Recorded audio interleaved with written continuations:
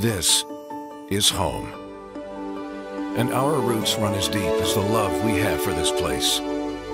Owned by the same Cincinnati company for more than 70 years. And what matters to you matters to us. Thanks for choosing us. I'm Evan Millward. Here's a look at some of the top stories at this hour. Fully vaccinated Americans don't need to wear masks outdoors unless they're in a large crowd. That is brand new guidance just in from the CDC. The change comes as more than half of U.S. adults have gotten at least one dose of the COVID 19 vaccine. More than a third have been fully vaccinated.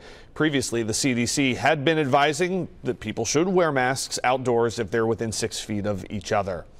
Ohio Democrats have now outlined their proposals for police reforms. Several lawmakers introducing pieces of legislation now. Some of those reforms include increasing training hours for officers, requiring police have body cameras on continually once they're interacting with the public as well. Two reps propose outlawing the use of military rules of engagement when police interact with people. Governor Mike DeWine says a Republican plan calls for more training too, particularly for small departments, as well as increasing funding for body cameras for all officers. Democrats want that too. The Flying Pig Marathon has just released plans for virtual events you can take part in this weekend. It would have been race weekend after all.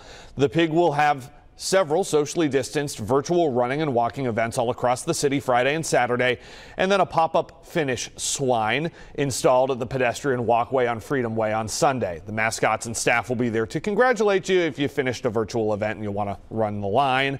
The full Flying Pig Marathon is still planned for late October with the Queen Bee half. Organizers say those details will come out this weekend.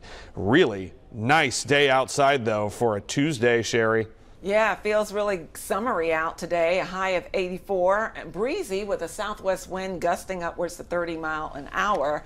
We have a cold front coming our way though, and as it does, we'll bring our chances of rain and storms up into Wednesday. We could even see a strong to severe storm during the day Wednesday and also on Thursday, just ahead of that front uh, as we will have, uh, again, that possibility of some damaging winds with those storms and some large hail. Behind that, though, those temperatures will drop off back into the 60s for a couple days. That's where we're at tonight, 63 degrees, and tomorrow we're at 76, and we'll see again afternoon showers and storms.